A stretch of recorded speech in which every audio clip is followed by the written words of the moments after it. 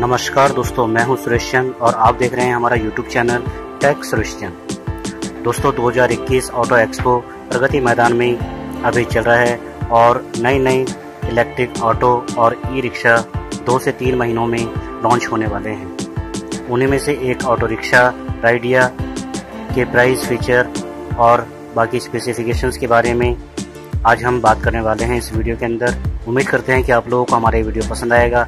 अगर हमारा ये वीडियो पसंद आता है तो प्लीज़ हमारे चैनल को लाइक शेयर और सब्सक्राइब करना। प्लीज़ मत भूलना। और जो लोग नए हैं, वो आइकॉन बेल ज़रूर प्रेस करना ताकि हमारा जो भी नया नोटिफिकेशन होता है, वो सबसे पहले आप लोगों तक पहुँच जाए दोस्तों। तो चलते हैं वीडियो की तरफ़ और बात करते हैं राइडिया के बारे में।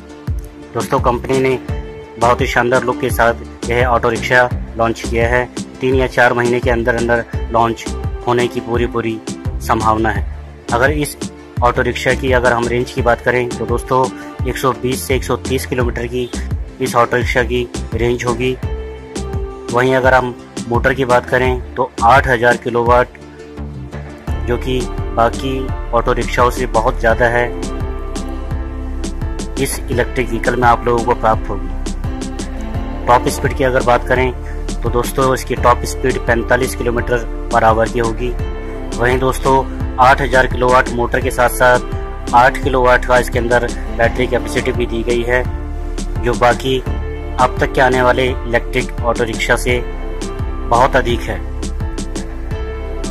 राइडिया की अगर हम प्राइस की बात करें तो दोस्तों, इसका प्राइस आप लोगों को तीन लाख पचास हज़ार के आसपास देखने को मिल सकता है।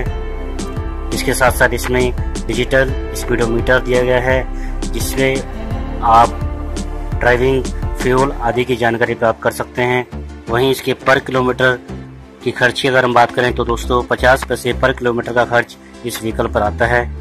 इस ऑटो व्हीकल के अंदर दोस्तों, एक बड़ा स्पेस होने के साथ साथ आयरन स्टील से इसे बनाया गया है। तो दोस्तों, यही थी हमारी आज की अपडेट आप लोगों को कैसी लगी? प्लीज़ हमें कमेंट्स करके ज़रूर बताना और हमारे चैनल को लाइक शेयर और सब्सक्राइब करना प्लीज़ मत भूलना। तो आज के लिए इस वीडियो में सिर्फ़ इतना ही। अगली वीडियो के लिए इंतज़ार कीजिए। नमस्कार।